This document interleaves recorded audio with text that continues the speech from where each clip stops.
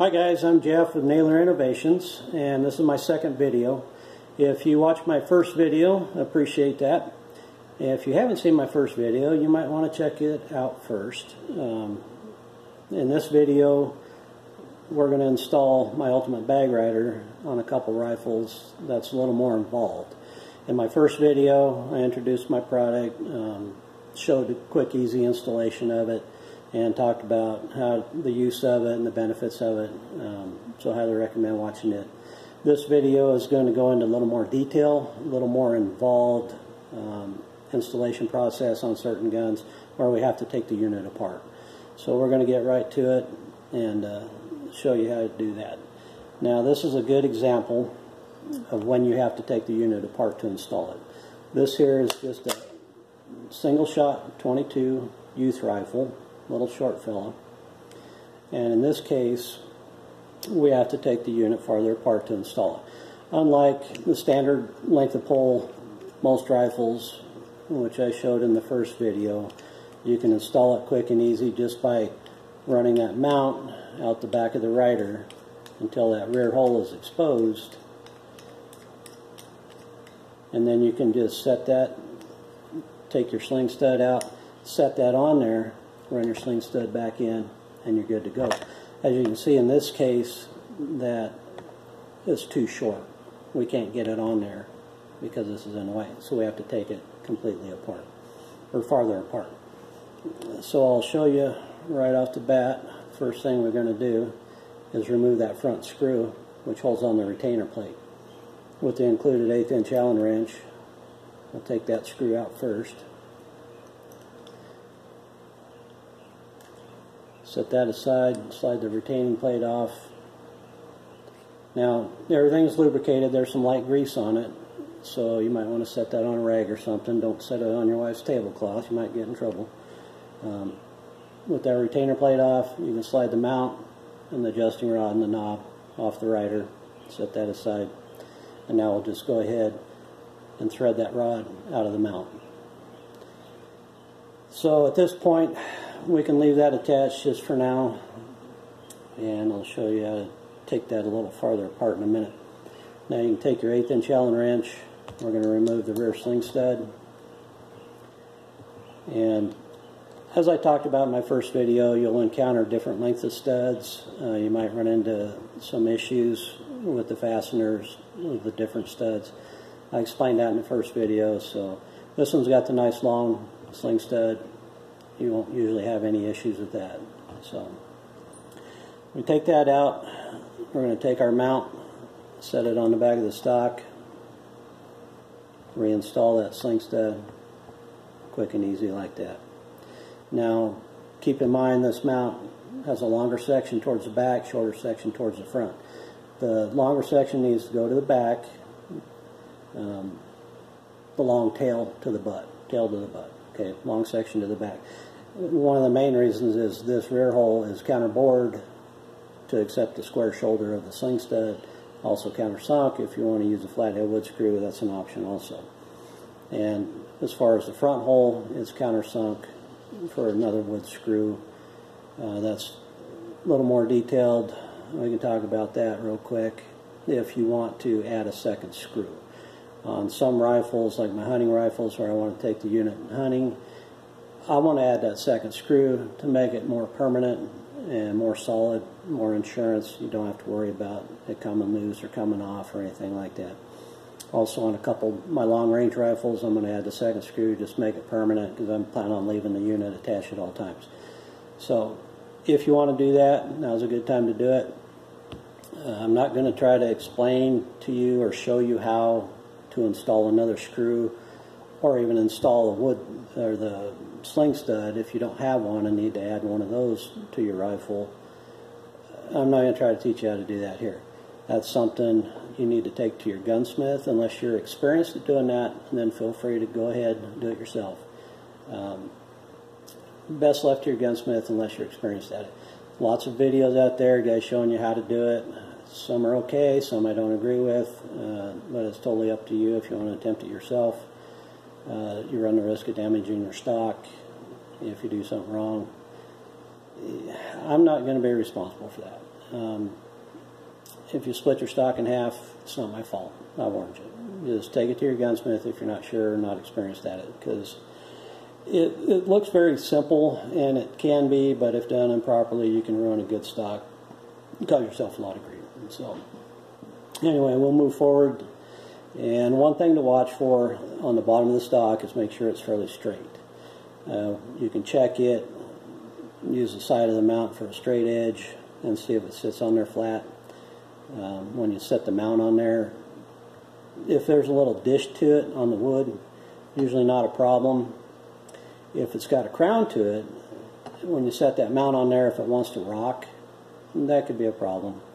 So one way to eliminate that, say there's a gap under the back here, what you can do is just take some black vinyl electrical tape, put a layer of electrical tape, fill in the gap, set it back on there, try it. If it still rocks, maybe add a second layer of tape and just get the rock out of it. Makes it sit on there nice and flat, more secure. So, little electrical tape solve that problem if you need it. We'll set the mount on there, run our stud back in there, run it in by hand as far as you can. Make sure it's started nice and straight.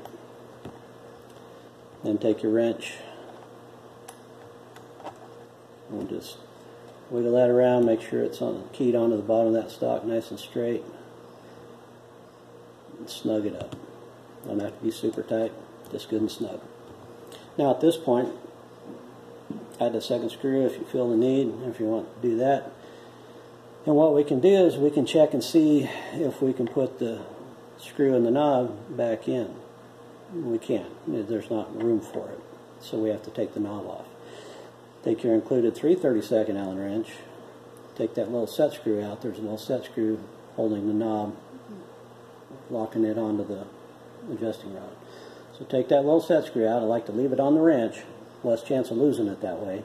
Make sure you're working over your table or your workbench and have a towel or some rags or something soft in case you drop it. It's not going to go bouncing away. If it hits the floor, it'll run and hide, and you'll probably never find it. Ask me how I know.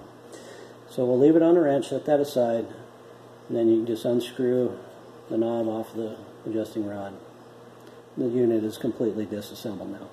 Notice there's a flat on the front of that rod. That's where the set screw locks on, engages on that flat so you don't damage your threads. So now at this point, you can try to run this in from the front. Still not enough room. So with the flat towards the front, just thread it in from the back. So we'll run that up through there. Now one on, on another rifle, um, what I run into, I had to take the unit apart. It's a standard length of pull on the other rifle, but I couldn't do the quick easy install leaving it assembled because from the factory the rear sling stud was installed over an inch farther forward. So it shortened up the distance between here and here. So I had to take the unit apart to the point to where the knob was still on the rod and then I was able to access the hole. But you know in certain situations you might have to just take it apart. In this case we had to take it completely apart. Not a big deal just two screws. So I'll run that back in there uh, there is some lubrication. Make sure there is lubrication on the screw or on the rod, on the mount, all sides of the mount. Um, we assemble these with some light grease inside the rails, all the mating surfaces. Uh, we like to use the Super Lube. It's a clear synthetic non-toxic grease, works really well. But any kind of light lubrication, a light grease, you want to make sure there's there's lubrication. You know, it just helps it uh, function easier and reduce wear. So now with the flat up on the rod, I'm going to run the knob back down on the end of that adjusting rod. Run it down there all the way and then just back it up until you see the flat through the hole. You want to make sure that flat's lined up under the hole where the set screw goes. Now you're going to take your little set screw, set it over the hole, start it down in there run it down there a little ways, and then hold the rod, and then just rock that knob back and forth while you're slowly tightening that set screw, and you can feel it engage on that flat. You want to make sure it's on that flat. Once it's snugged up there, you know you're on the flat. Snug it up a little bit. That's back together. Next step, slide the rider on from the back. Now you notice the groove in the knob. That's where the retaining plate engages over through that groove. That's one critical area where you want to make sure you have adequate lubrication in that groove because that's probably going to get the most wear. Um, take your retaining plate, countersunk side out, slide it over the knob, engaging the slot, the groove in the knob, and then take your flathead screw, put it through the hole in the retainer plate, get that started back in there, and then when you got grease on your fingers it makes it a little more difficult. Get that started in there. Now I'm going to cheat a little bit. I got a ball end Allen wrench. If you have these, it just makes life a little easier. Uh, you can go at it at an angle. So run that in there. Take the short arm wrench that's included. Make sure that's engaged nice and straight. Snug up that flathead screw. All reassembled, ready to go. So now we have an Ultimate Bag Rider installed on this Youth Rimfire rifle. And I think it's pretty handy. It's a really great training aid um, for kids, uh, youth, new shooters. You know, it's not just for kids and women either. I mean, it's for anybody that wants to try to find the true accuracy of the rifle and try to get better um, eliminate a variable. That the, the main advantage of this product, it just eliminates that variable of fighting that rear bag. And a lot of us really struggle with it. My wife really was frustrated with it. So it just eliminates a variable. You can set this on a on a bag. Any flat bags work really good. Set it down in there, work it down in there good and solid but you can get a young person set up on the bench and get the rifle nice and solid. Just turn that knob, dial in your elevation, and it's going to stay there. And they can have fun, be productive, build some confidence, and not be fighting that rear bag trying to keep the elevation and trying to stay on target. It just helps a lot. Um, so there we go. That's the Ultimate Bag Rider.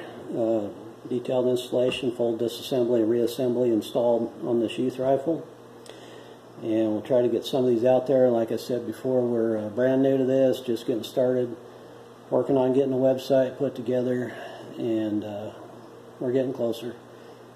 And we have some of these units in stock, bagged up, ready to go, and hopefully we can get some of these out there to you real soon and uh, let you try them out and let us know what you think. Uh, we're not taking phone calls. Uh, I've been a machinist over 38 years. I still work 50 hours a week. My wife works full time. If you can, uh, if you want, you can send us an email if you have any questions at naylorinnovations at gmail.com. Uh, we will check those in the evenings and get back to you as soon as we can, and uh, we'll go from there. But really appreciate you watching. And stay tuned once we get our website up and going. Um, I got another product in the works right now a handy little gadget I came up with that I had a need for something that didn't exist. So I made one for myself and used it. Really handy item. I made my buddy one. He really likes it. It's something I think you guys will like too. It's really simple. One of those, oh yeah, uh, why didn't I think of that? Hopefully. Um, anyway, there's more products on the way. One of them coming up soon. Hopefully we get that up on the website as soon as I get some of those made. Something I think you guys will like. And uh, stay tuned, check back, and appreciate you watching. I'll see you soon.